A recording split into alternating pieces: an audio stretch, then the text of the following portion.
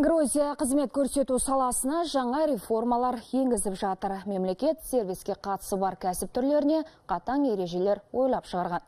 Бұрын сұлулық салондары, эстетикалық орталықтар мен валюта айырбастау пункттері биліктің бақылауында болмайтын.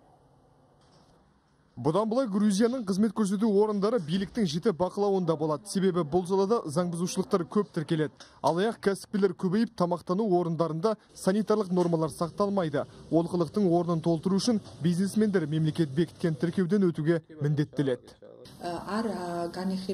өкінішке орай грузия с гепатитіне шалдығу коэффициенті жоғары елдердің қатарына жатады үкімет бұл сырқаттан емделуге бағытталған түрлі шаралар өткізеді міндетті тіркеу солардың бірі қызмет көрсету саласындағы сұрақылық валюта айырбастау орындарында көп кездеседі. Мәселен коммерциялық орындар халыққа валюта бағамы туралы ақпарат пен түбіртек бермей келгені. Соңғы кезде бірқатар ақша айырбастау орындары валюта бағамын өзіне тиімді өзгертіп айласын асырып отырған. Осыған байланысты азаматтар тарапынан шағымдар көп түсті.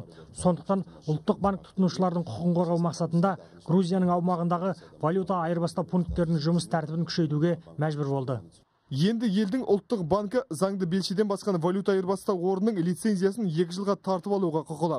Болашақта барлық қызмет көрсету орындарына қойылатын талапты күшейту керек дейді мамандары. Рауан Мыңбаев, Анна Анастасияди, Хабар 24, Грузия.